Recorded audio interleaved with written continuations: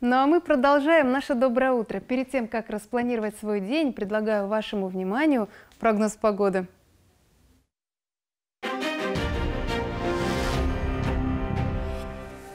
Карачево-Черкесии дождь. Днем местами сильный, в горах с мокрым снегом. Ветер северо-западный 5-10 метров в секунду. Днем в горах порывы 15-20 метров в секунду. Температура воздуха ночью до плюс 8. В горах минус 2 плюс 3. Днем до плюс 13. В горах местами плюс 1 плюс 6. В Черкеске ночью без существенных осадков, днем дождь, ветер северо-западный 5-10 метров в секунду. Температура воздуха ночью плюс 6 плюс 8.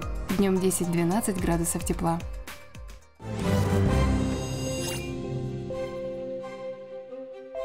Небывалый урожай наград собрали преподаватели и учащиеся детской музыкально-эстетической школы «Черкеска». В марте они стали участниками сразу трех крупных музыкальных фестивалей и конкурсов. После наслаждения наградами и короткой передышки юные звезды дали концерт в родной музыкально-эстетической школе, исполнили композиции, принесшие им блестящую победу. Волшебной музыкой насладилась и Мадина Каракетова.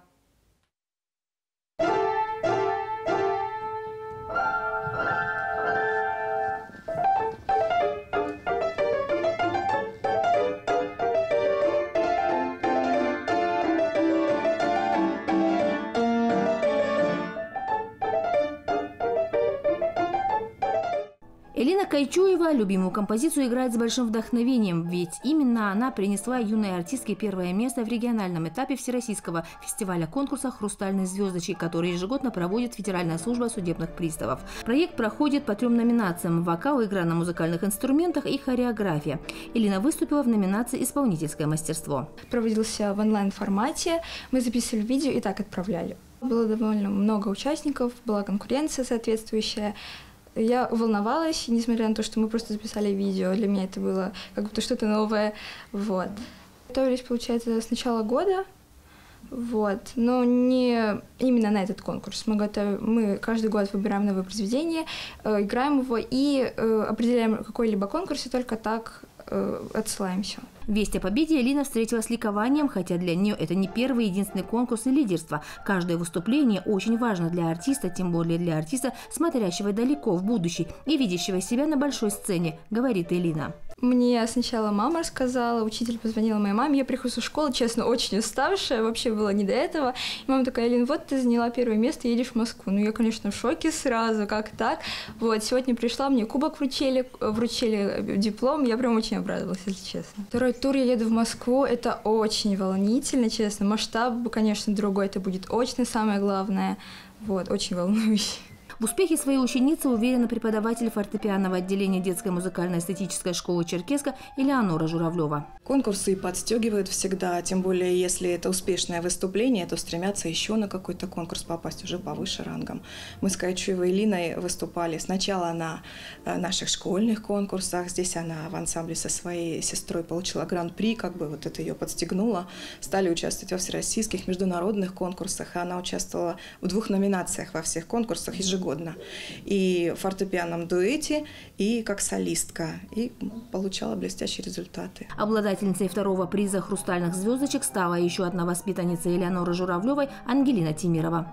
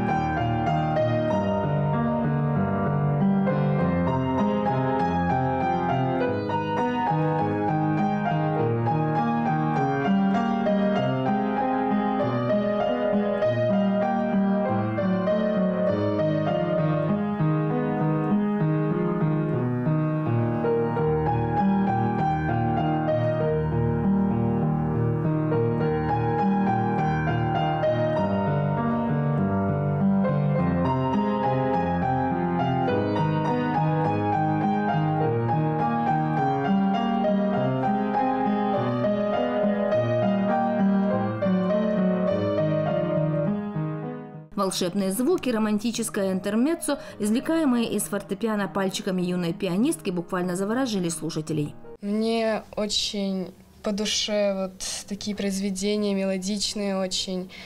такие душевные. Мне именно нравится вкладывать что-то свое в такие произведения э, и получать удовольствие от игры. Было очень волнительно, но я собралась силами и сыграла достойно. Было очень много участников, э, было с кем посоревноваться но я очень рада, что получила второе место и собираюсь достичь большего. На этом фестивале победителями стали четверо воспитанниц Элеоноры Журавлевой. Всегда чувствуешь и удовлетворение, и радость от того, что э, не зря трудился, не зря все вот эти вот э, потуги, что называется, и дети бедные э, каждую репетицию трудятся, дома много приходится заниматься. Конечно, работа, подготовка к конкурсу очень серьезная работа. Достойно представили детскую музыкально-эстетическую школу, черкесское и фортепианные ансамбли на седьмом республиканском конкурсе, организованном детской музыкальной школой Московского, который состоялся 26 марта. По словам заведующей детской музыкально-эстетической школы черкесской Елены Жандаровой, этот конкурс стал долгожданным. Его организация осложнялась в связи со сложившейся непростой эпидемиологической ситуацией, и дети с нетерпением его ждали. Прежде чем вот э,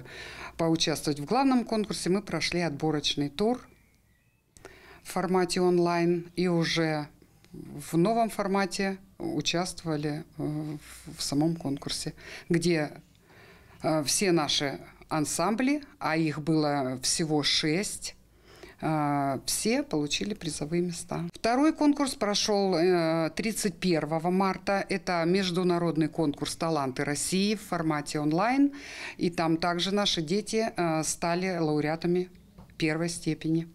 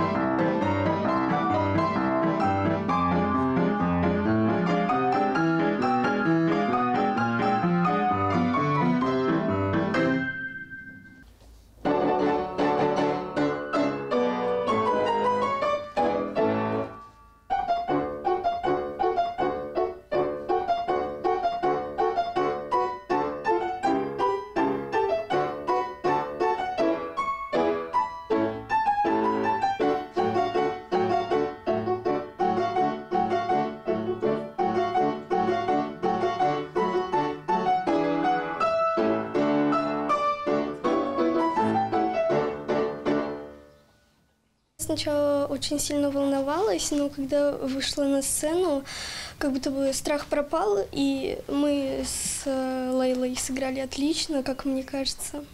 Мы очень хорошо сыграли, там было много детей. Нам дарили подарки и давали медали и грамот. Было много, и мне конкурс понравился.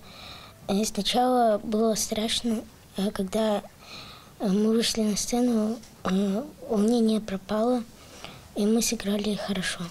Конкурс было интересно, но я считаю, можно было поставить э, четвертое место хотя бы. Ну, мне кажется, это из-за произведения. Я сначала чуть-чуть волновалась, но потом, потом нет. Мне понравился конкурс, я волновалась. Мы все сделали правильно, мы сыграли хорошо. Я не волновалась, потому что я была не первый раз на сцене. Когда мне вручили медаль, я была рада за свою школу, за своих родных, за себя. Там было много, очень много детей. Но, по моему мнению, мы сыграли хорошо. Конкурс фортепианных ансамблей, наверное, самый сложный, считает Елена Жандарова, потому что здесь важно не просто научить детей играть на фортепиано, но и заставить вместе дышать, вместе чувствовать и думать. Но преподаватели блестяще справились. Я знаю, какой труд стоит за всем этим. Поэтому я, конечно, очень благодарна всем преподавателям в первую очередь за их самоотверженность, э, за то, что они где-то э, дома не додают какой-то любви своим родным, а пытаются вот из э, детей, из своих учеников э, вытащить вот э, их возможности, показать их возможности, потому что зачастую даже родители не всегда знают, какие таланты скрыты в их детях.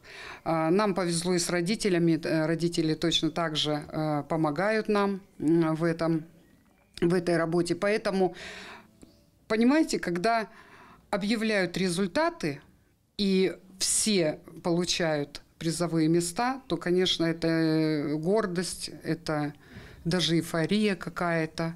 В общей сложности в трех конкурсах, которые состоялись буквально один за другим, приняли участие 18 детей, воспитывающихся в детской музыкально-эстетической школе Черкеска, и завоевали они 20 дипломов и медалей. Кроме фортепианного отделения в школе есть отделение народных и оркестровых инструментов, эстрадного и хорового пения, есть отделение для самых маленьких, раннего эстетического развития. Сюда принимают малышей с трех с половиной лет и обучают английскому языку, азбуке театра, ритмике, музыке, рисованию и лепки. Малышей готовят к школе, с ними работает логопед и педагог. Мадина Каракетова, Максим Долгов, Вести Карачаева-Черкесия. В Грозном прошел чемпионат СКФУ по боксу среди мужчин 19-40 лет, а в Ставропольском крае прошло первенство по боксу «Юность России». Юные боксеры Марат Хапчаев и Айдамир Каракетов, воспитанники тренера Руслана Каракетова, стали победителями этих соревнований. И эта победа стала для них путевкой на чемпионат России. И сегодня, в эти минуты в нашей студии боксеры и их тренер расскажут моей соведущей Белли Джазаевой о том, как прошли турниры и как идет подготовка к чемпионату России.